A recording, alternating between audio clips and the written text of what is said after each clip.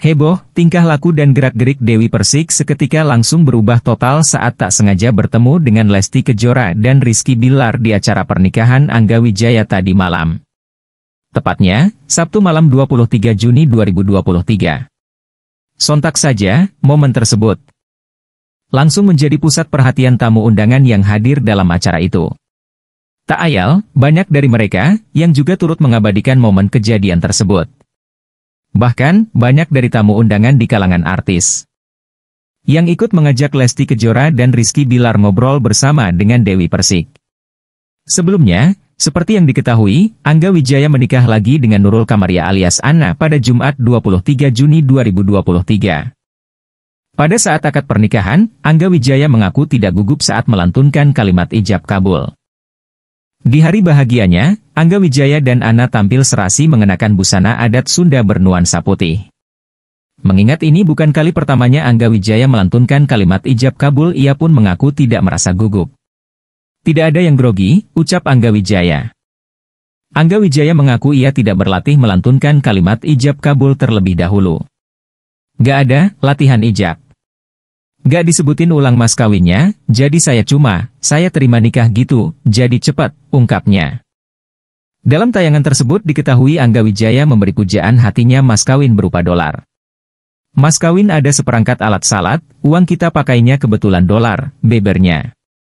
Sontak mantan suami pelantun lagu, Mimpi Manis itu membeberkan alasannya memberi Ana dolar sebagai mas kawin. Dolar karena kita mau nentuin tanggal hari ini dengan tahunnya jadi 23.623 dolar, paparnya.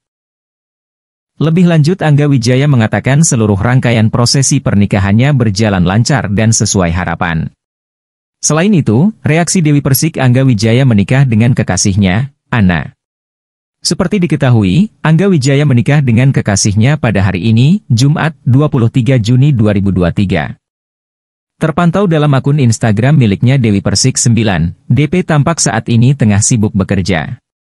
Namun DP pula sempat memberikan pesan menohok untuk istri Angga Wijaya. Pesan Dewi Persik seolah sebagai peringatan buat calon istri Angga Wijaya sebelum nikah.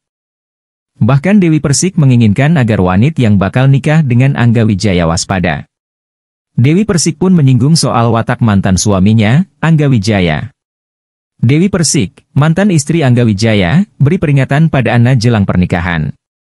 Dalam pesannya tersebut, sang biduan meminta Ana untuk berhati-hati pada calon suaminya tersebut.